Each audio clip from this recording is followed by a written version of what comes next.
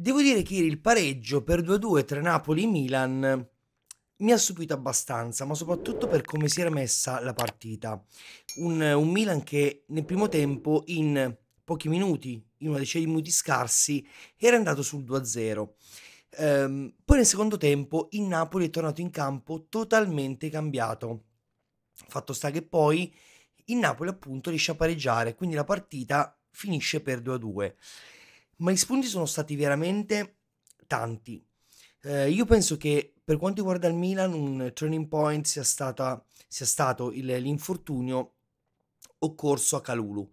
Eh, quando è entrato Pellegrino all'esordio eh, in campionato appunto e con il Milan, devo dire che secondo me questa sostituzione forzata è stata uno dei motivi per i quali il Milan ha avuto un calo. Perché comunque il gol dell'1-0, che, eh, scusate, del 2-1 eh, da parte del Napoli, eh, è stato propiziato proprio da un errore di Pellegrino. Perché nell'uno contro uno non ha totalmente tenuto il giocatore partenopeo.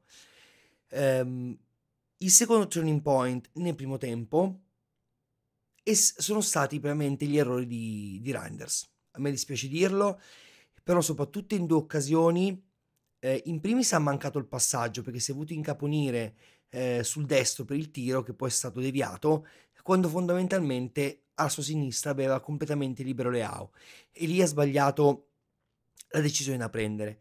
In più perché comunque nel finale del primo tempo, comunque negli ultimi del primo tempo, si è mangiato un gol clamoroso davanti a Meret. In un Milan che qualora fosse andato sul 3-0, lì la partita, ecco, magari sarebbe, si sarebbe chiusa, secondo me. Invece comunque Napoli è eh, rimasto in partita, eh, è tornato in partita nel secondo tempo. Eh, di contro, oltre agli eroi di Reinders, il discorso di questa entrata freddo in campo da parte di Pellegrino, è, è stata insomma controbilanciata da un Napoli che ha giocato molto basso, ha fatto tanto giocare il Milan, partiva di contropiede, eh, sfruttando insomma le, la, la, velocità soprattutto di Politano e Quaracelia. Quindi un Napoli che nel primo tempo a me onestamente non è piaciuto. Nel secondo tempo tutto è cambiato, ma secondo me il problema del Milan è stato prettamente psicologico. Eh, un Giroud che a fine partita dice una volta che abbiamo preso il 2-1 non sapevamo se attaccare o difendere. E, ehm, ragazzi, è una cosa in- grave.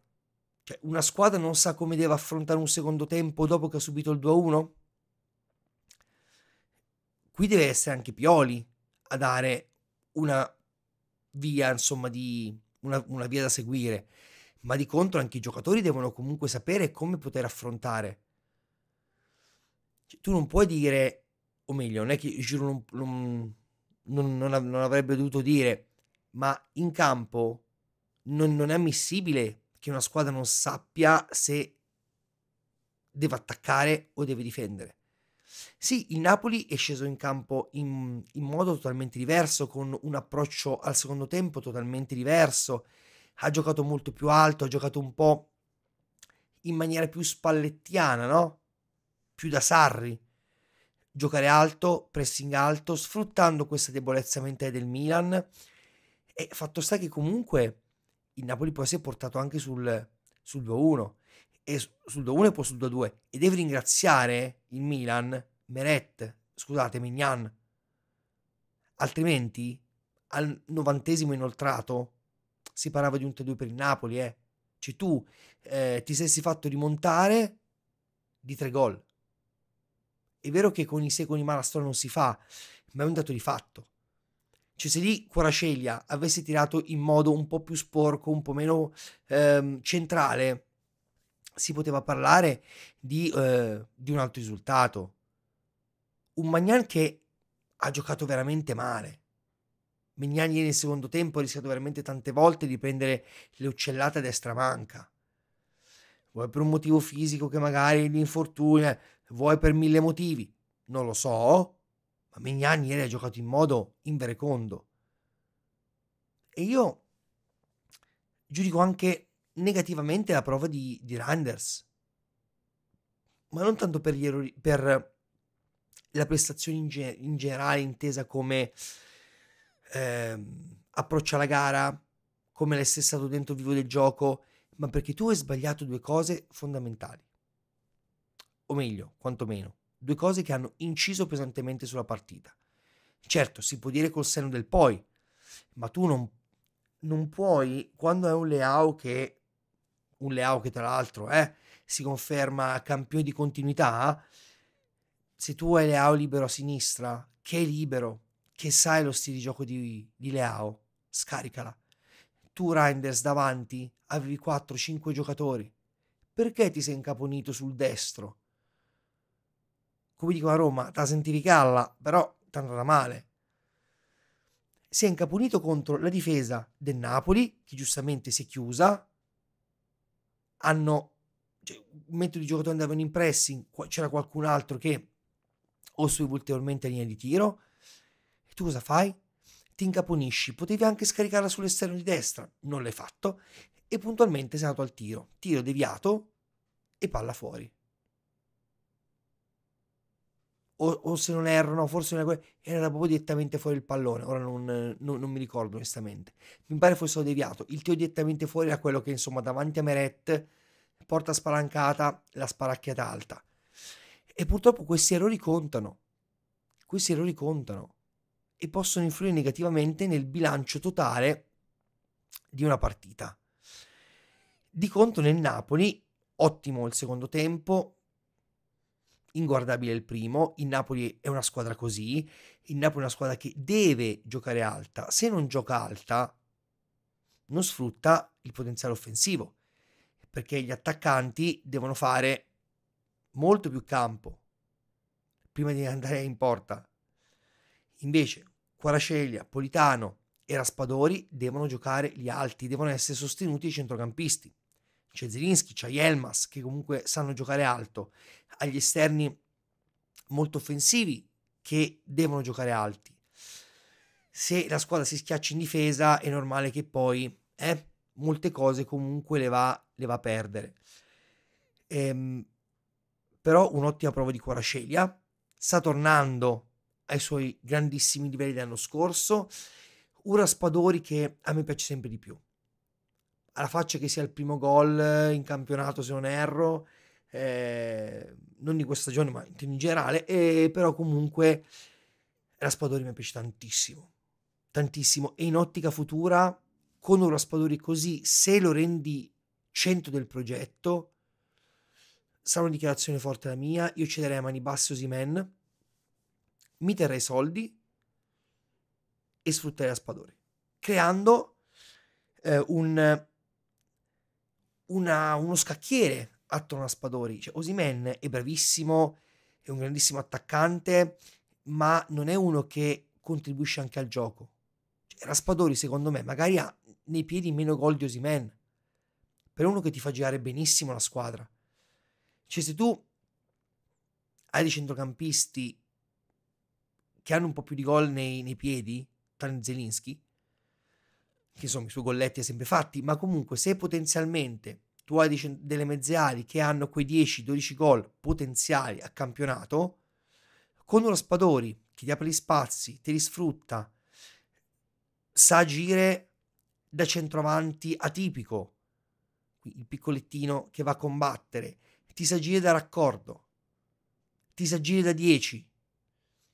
Se tu hai un Quarascelia, un Politano che gol nei piedi li hanno, se tu hai uno Zelinski e un Elmas che potenzialmente i gol nei piedi li ha, un Raspadori può essere veramente tanto, tanto, tanto importante per questo Napoli del futuro. E ripeto, io punterei molto su Raspadori, in primis perché è italiano, seconda cosa perché è giovane, terza cosa perché deve essere un ragazzo d'oro e non, non, eh, non sottovalutiamo questa cosa. Secondo me è un ragazzo d'oro, umile, che lavora, che sputa, che suda 15 camicie in campo. Osimen ha mostrato, insomma, in, in questi anni di Napoli un po' la testolina lievemente bacatina. Quindi ecco, io allora valorizzerei il capitale umano che ho. Quindi un Raspadori. Puoi cedere Osimen a 100, 120 miliardi, miliardi si delle vecchie lire, e milioni di euro, cedilo, ti metti in tasca i soldi, ne investi altri 20, 25 per un'altra punta che ti possa fare la riserva di Raspadori. Ma io su Raspadori ci punterei a mani basse, a mani basse. Andando poi a vedere la classifica, un attimino che, ecco qua, ho 25.000 mouse, allora vediamo la classifica, il Milan con questo pareggio eh, non agguanta la Juve. Una Juventus che ha vinto in extremis contro il Verona. Quindi ora il Milan è terzo a 22, Juve seconda a 23 e Inter primissima a 25. Un Inter che insomma ieri ha battuto la Roma che insomma, a livello di, di statistica veramente ha tritato la Roma, però questo, in questo video voglio parlare soltanto di Milano e Napoli, onestamente. Ehm, e di contro un Napoli che non vincendo non accorcia distanze al Milan, quindi rimane sempre a meno 4. Ora il Napoli quarto, 18 punti. Devo dire che sarà una bella bagarre per la Champions League quest'anno e sono curioso di vedere come andrà a finire. Però ripeto, fatto sta che il Milan deve trovare soluzioni e questi buchi mentali il Milan più volte li ha avuti in questi anni. Ehm, e non sempre ti può bastare un Giroud che ti fa doppietta. Anche perché tu poi hai preso gol, i, i due gol del Napoli in 10 minuti, 11 minuti. Non può bastare. Io penso che in alcuni elementi per fare il salto il Milan debba trovare sostituti, o meglio, debba trovare dei veri titolari. In primis è Krunic. Io continuo a dire che tolto Krunic, io sostengo, ragazzi, io Muso lo vedo come mediano, ehm, punta su Reinders, punta su Loftus Cheek, però Krunic non può fare secondo me il titolare nel Milan. Assolutamente no. In più, la difesa, chi era insomma c'è l'età che ha, Calulu starà fuori, poi non, non si sa se più, più terzino, più centrale. Teo Hernandez, altra conferma, se non gira la catena di sinistra, quindi Hernandez e Leao, il Milan vale il 40% in meno. Ieri poi ha fatto anche io Reinders, quindi Leao, Reinders, Hernandez e tutta la catena di sinistra che ha fatto quello che ha fatto. Insomma, non è andata proprio benissimo al Milan. Comunque fatemi sapere qui sotto nei commenti cosa ne pensate, vi mando un abbraccione e ci vediamo al prossimo video.